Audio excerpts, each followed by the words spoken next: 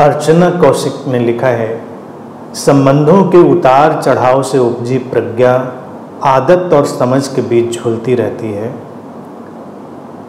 लगता है सजग चुनाव न होकर एक एक्सीडेंटल लर्निंग है। व्यवहारिक समझ नहीं बन रही है। कुछ कहें प्रभु।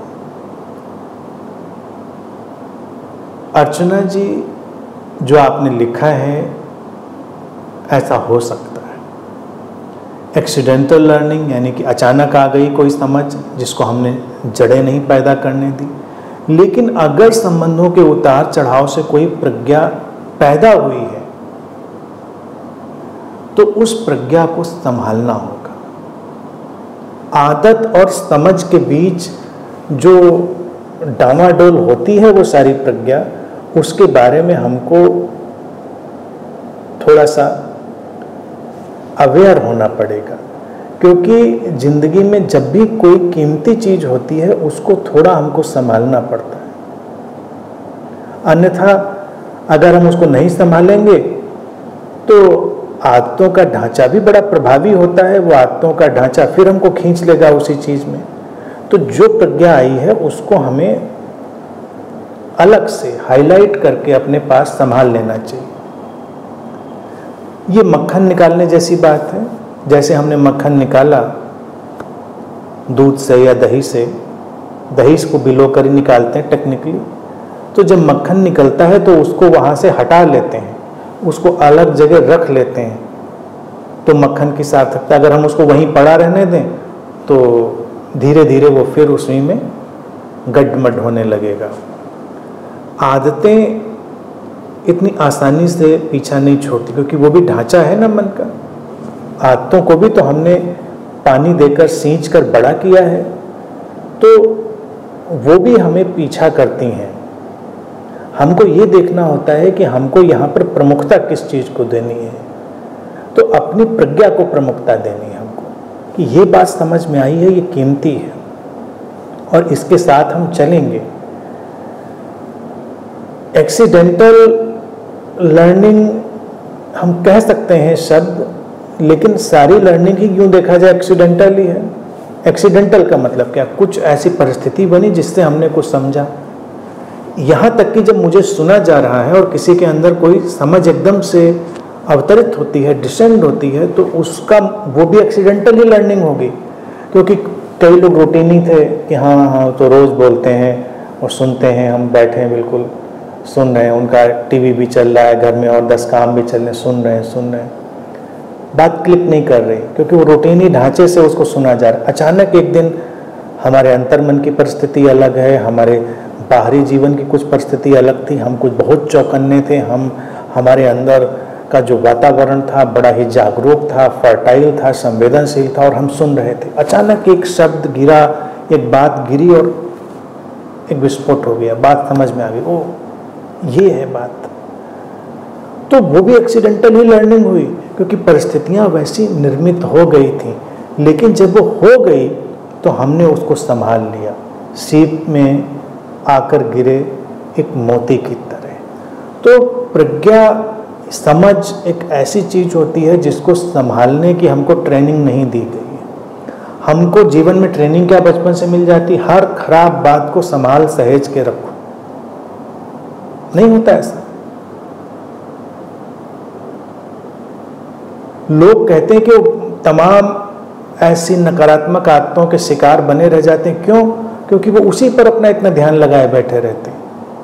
तो जब जब जीवन में कोई समझ आती है तो उसको आहिस्ते से, बहुत ही सम्मान से, स्वीकार से संभालने की आदत डालनी पड़ेगी। फिर व्यवहारिक समझ बने या कब बने, इसके लिए हमें इंतज़ार करना पड़ेगा। कई सारी चीज़ें ऐसी होती हैं कि वो रातों रात हमारी व्यवहारिक जीवन में नहीं आ जाती। जैसे मान लो, हमको संबंधों में थोड़ा चिड़चिड़ेपन की आदत थी, हमको थोड़ा रिएक्शन देने की आदत थी, प्रतिक्रियात्मक रिएक्शनरी हमारा एटीट्यूड था, स्वभाव था, और हमारे अंदर एक ऐसी धारा उतर आई समझ की जो हमारे सारे अंतर जगत को बिल्कुल एक समस्वरता में, एक हारमोनी में ले आई। तो हम चाहते हैं कि कल से ही जब हम व्यवहारिक जगत में आए तो हम उतना ही संतुलित और शांत व्यवहार करें। लेकिन आदत वो चिड़चिड़ेपन की, प्रतिक्रिया देने की पुरानी है।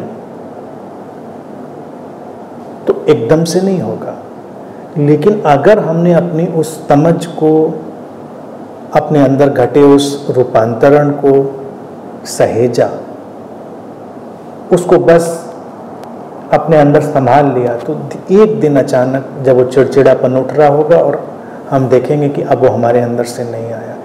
एक दिन जैसे हमारे अंदर से प्रतिक्रिया उठ रही थी, नहीं उठी। उसकी जो स्ट्रेंथ है, उसका जो होल्ड है, उसकी जो पकड़ है, वो लूज हो जाती। कबीर इसी के लिए कहते हैं, हीरा पायो, गांठ गठियायो क्या मतलब होता है इसका?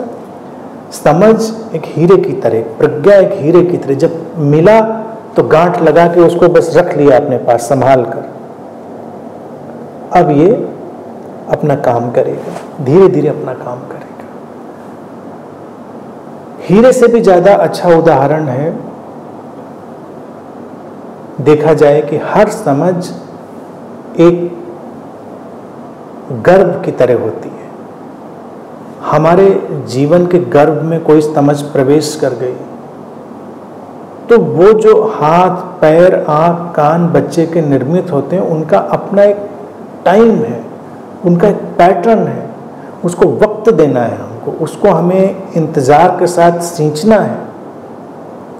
ये नहीं कि आज कंसीव हुए हो, कल हमने अल्ट्रासाउंड में देखा अच्छा सब ठीक, बढ़िया, बिल्कुल, हाथ, पैर, नाक, कान, सब फिट, और हम तीसरे दिन ही होम डिलीवरी करा ली उसकी हमने। नेचर ने ऐसा होम डिलीवरी का ऑप्शन नहीं दिया है हमको।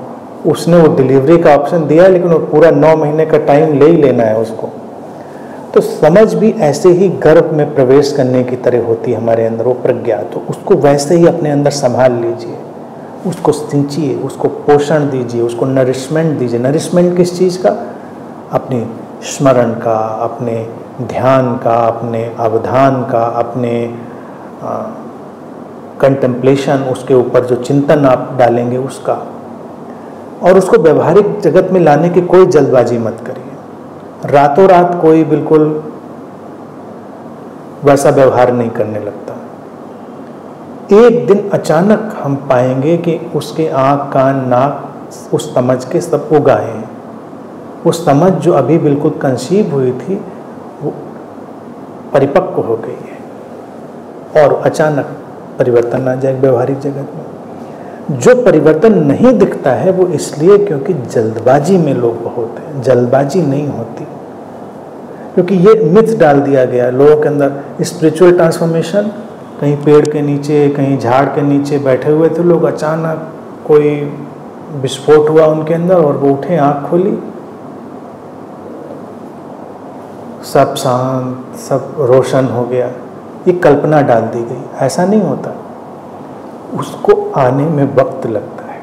उसको उसको व्यवहारिक जगत में आने में वक्त लगता है चीज़ों को। तो उसको वक्त देना है। लेकिन वक्त के बीच में जो करना है, उसको संभाल लेना है।